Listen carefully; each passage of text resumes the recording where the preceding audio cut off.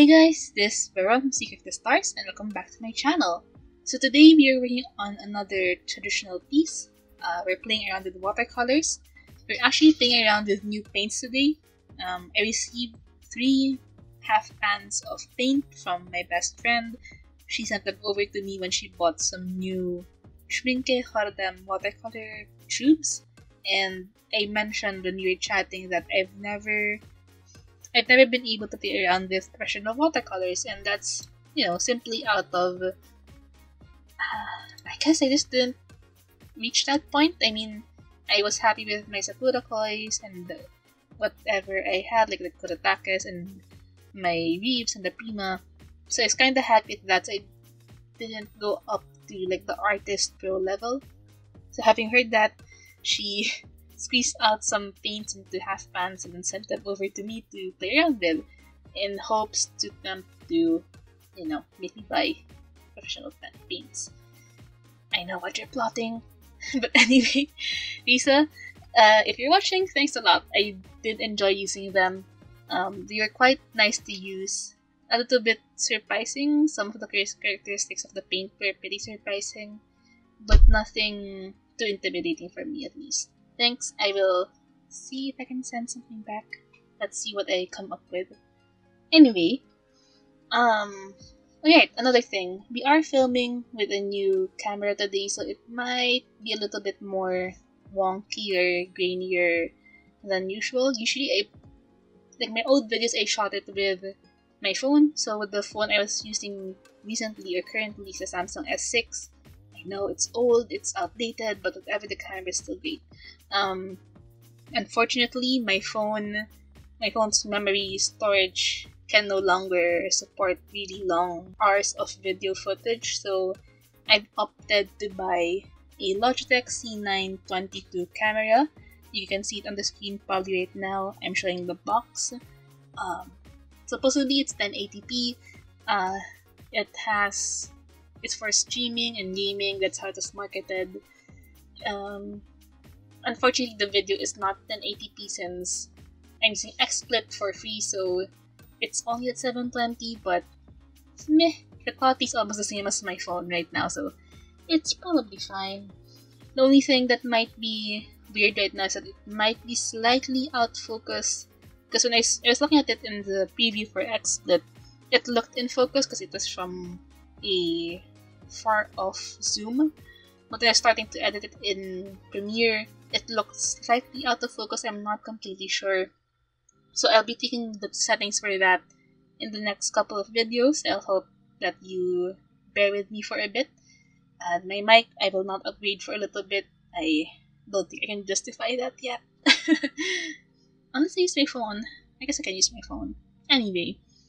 Right, so this drawing.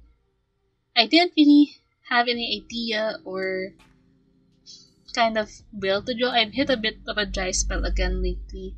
I haven't really drawn anything for two weeks. Like, yes, I did upload the Merlin and the Cal drawing, but that was two weeks ago, and I haven't really drawn anything since.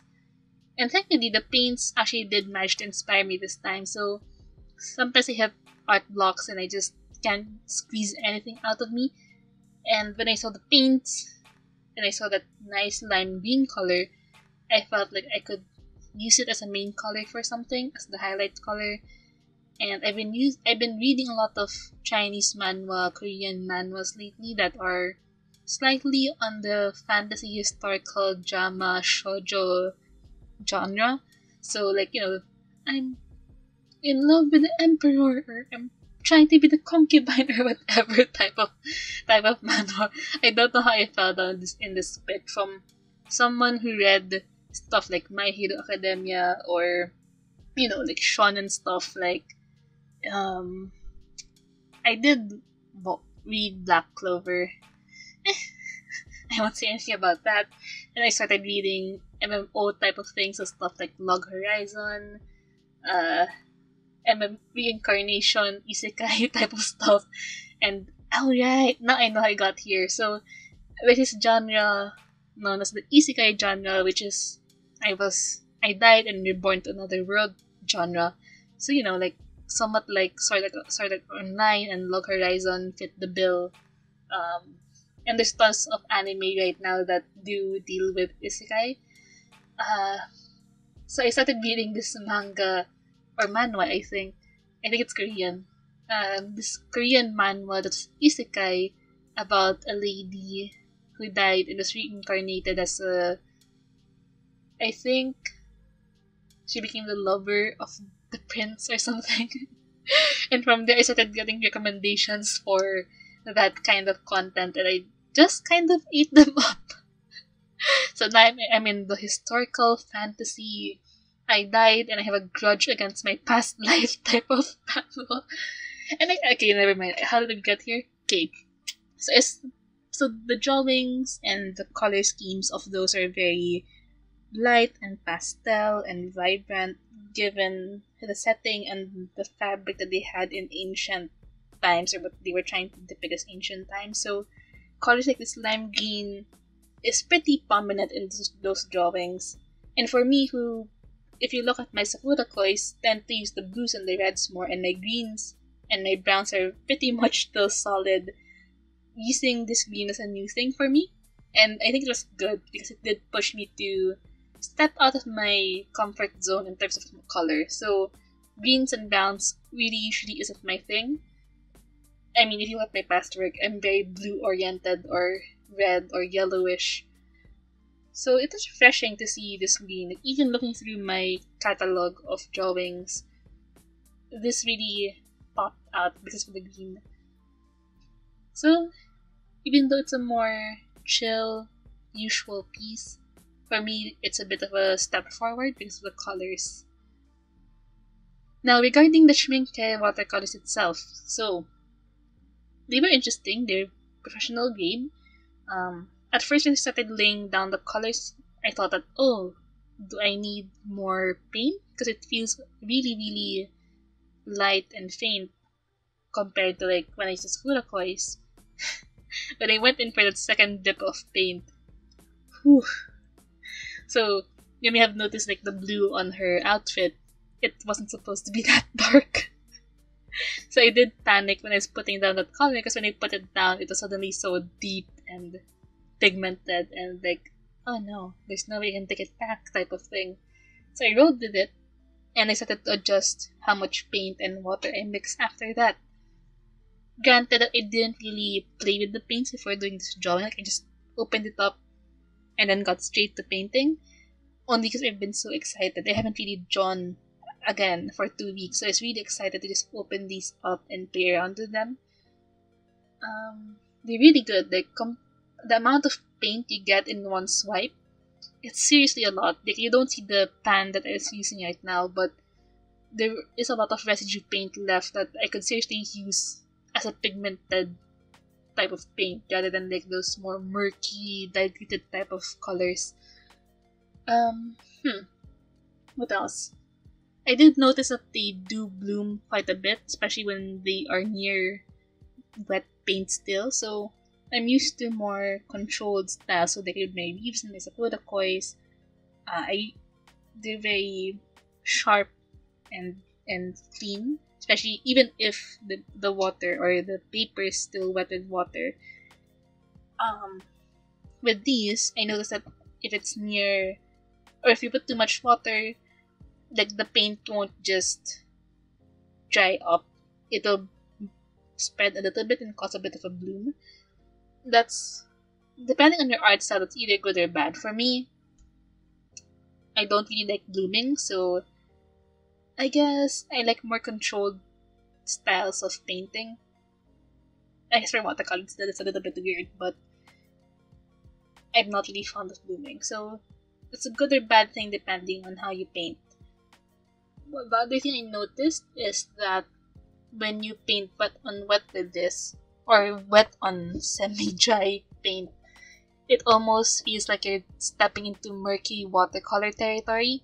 So when I was layering or shading rather the green parts of her outfit with the blue, I thought that they wouldn't mix well. I thought they'd turn out muddy. But thankfully they were really nice. So Another thing that, deserved, that really surprised me is that when they dried, it looked really crisp. and sharp. I mean, when they were wet, as you can see, it looks very blended in together.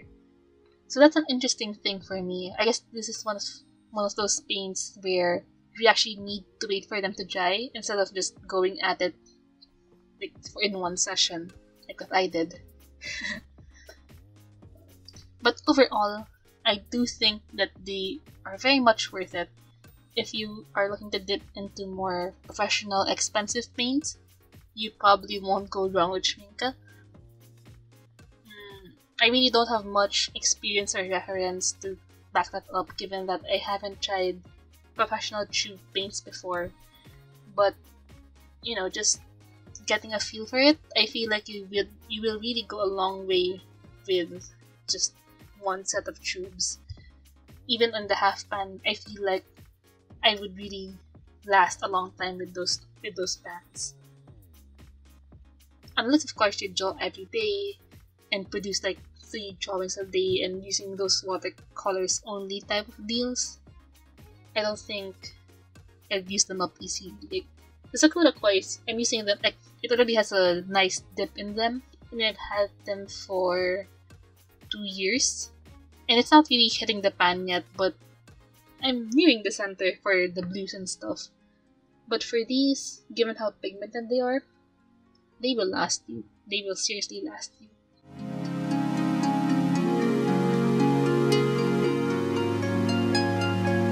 In terms of performance, I would compare them pretty close, uh, based on my experience, of course. Um, they're pretty close to the Primas. I'm pretty sure more experienced YouTubers or artists will have better comparisons, but given my amateur level, I would say that they perform pretty close to the Primas, given, like, let's say, the amount of paint you need to swipe to get the payoff. In terms of layering, hmm, yeah, I guess these act a little bit differently regarding how they dry.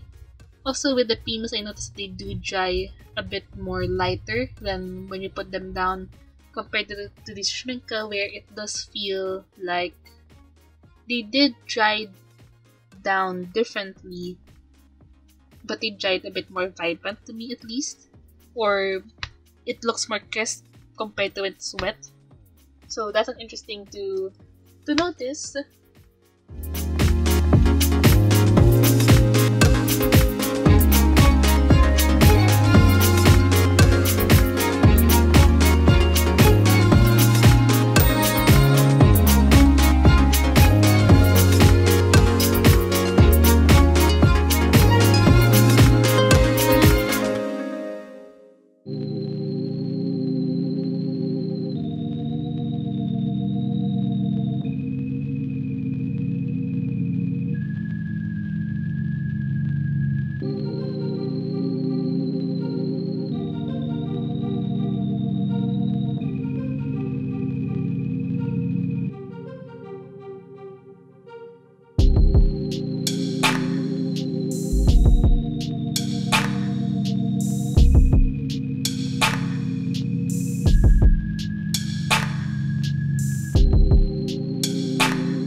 So I guess the next question would be, would I buy the Schmincke for myself? Um, if I'm looking for paints. I know that these are slightly more high-end, so they are gonna be pretty pricey when you buy them. Unless you are going to go more professional, if you're like planning to sell your paintings, or you know, you just have extra cash to spare, I guess. Yes, I would say try them out. Um, don't I don't really have much reference. Like I'd say research well on them first. A lot of art YouTubers have played around and touched on the Schmincke watercolors. And a lot of YouTubers also have a lot of comparison videos comparing them to other brands. So like with Winsor Newton and stuff like that. So I would suggest researching well before buying them. But for me, they will last you a long time. And will I personally buy it maybe if I was looking for cheap paints, then yes, I would buy them. But right now, I'm pretty content with what I have, so I'm not really jumping to get them. Especially since, I don't know, I feel like I could accomplish something similar with my other paints anyway. It's just a little bit more like these are light fast. My current paintings are not. Like, it's those kinds of differences na, that if you don't plan on selling them, don't really matter, I think.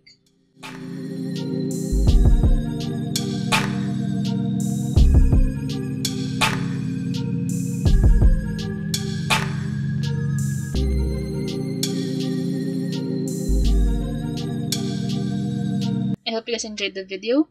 Uh, if you did, please consider liking and subscribing to the channel as well.